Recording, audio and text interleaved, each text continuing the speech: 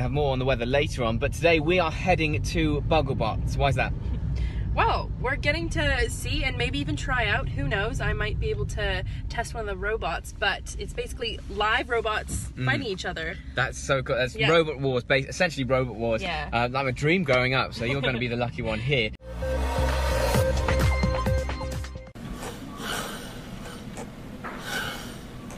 Bugglebots is a new web series coming this December, and I'm here with the director of it all, and we're actually standing in front of some 3D printers that go hand in hand with, of course, the robots. Tell me a little bit about the web series, Bugglebots. That's right. So um, earlier this year, uh, the BBC cancelled Robot Wars, which was a very fun show to me and many of uh, my friends and other keen roboteers along the country. So we decided uh, we needed to keep the, the ball rolling, so we wanted to make our own show. So people from all over Europe and even America have travelled to Bristol uh, a couple of months ago to film this web series, 30 teams. Um, and uh, they battled it out with an audience, and uh, now we're going to put it out on YouTube in December. We're looking forward to it. So, what does a typical battle entail? Is it is it really rough? Is it? I mean, if people have gone into so many lengths trying to make these robots, I'm sure they wouldn't want them to get destroyed.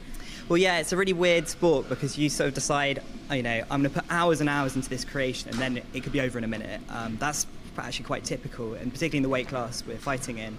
Uh, the fights tend to last about a minute, uh, but in that minute, there's carnage. Uh, robots hit the ceiling, we have a pit with, uh, which uh, things fall into, uh, and bits go flying everywhere. It's pretty scary if you're near the arena, to be honest. So, what kind of audience were you looking to draw in with this new web series? So we're quite focused on encouraging kids into STEM, into science, technology, engineering, and maths. Uh, and we think robot combat is a really great way because you uh, you learn about electronics, you learn about designing, you learn things like 3D printing. Um, so we want to get kids hyped about building and being tinkers. Tinkerers. So. Uh, we had a massive amount of kids in the audience, which was really great to see. And there was loads of girls too. We're trying to inspire more girls into this area, and it was actually a really good turnout for girls as well.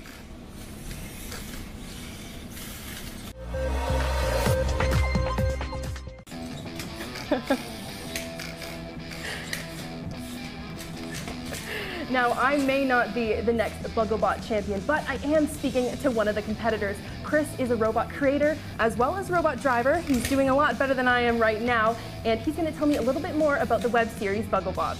I was lucky enough to get the chance to take the reins on a robot called Zero Gravitas, which is known in the ring as a control bot. So it uses its big mouth with these lovely titanium teeth to grab onto the competitors and then it can shove them around.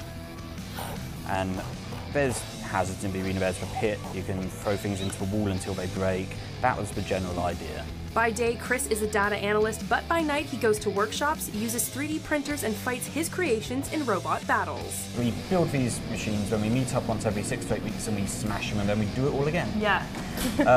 I guess you can't grow too yeah. attached to the robot if you No. know that it might get smashed No, by I- the end of the fight. No, I made that mistake with the first version of my little ant right yeah. here. Where oh, this it- one's cute. Yeah, so it's just a little flipper. Um, that's the ant weight class. This is the beetle weight class. So my first ant weight I got really emotionally attached to, and then it got absolutely destroyed. My first step to becoming a roboteer was learning the controls. You got your backwards, you got your side, and side. After that, I had to learn how to attack. It, it's got a little bit of bite to it. It when you has a bite. So can It, it moves as fast as you move the stick. So if you want to properly whack something with it, you can. so if this ran into another robot and bit down on it, it could it could do some damage, couldn't it? Once I learned how to move the robot, it was time for me to have a go against one of the smaller bots, which surprisingly I still had no chance against. Bugglebots Bristol, the robot fighting web series features referees, judges, hosts, and of course robots, and will be coming to YouTube screens this December.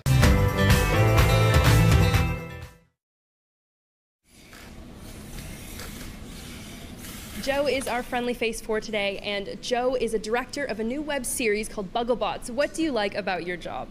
Well, I love that I can go and see people make amazing things. Uh, people spend hours of you know blood, sweat, and tears making these amazing creations and destroying them for our entertainment, and I get to witness all of that and uh, see all these people having fun causing chaos. It's amazing. It should be out in December. That's the plan. So sometime in December on YouTube, uh, just search Bugglebots. Uh, we'll have it out there for you.